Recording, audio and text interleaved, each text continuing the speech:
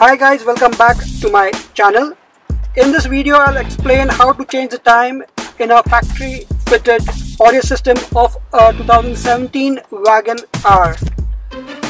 Procedure is not mentioned in your user's manual.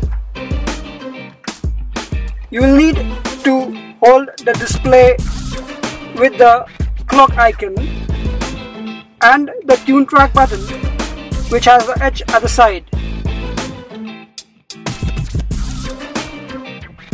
And there we go. You press it and you can change the hours.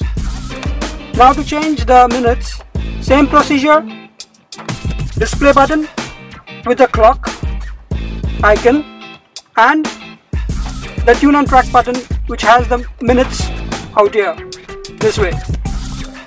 As simple as that. Hope this small video helps you.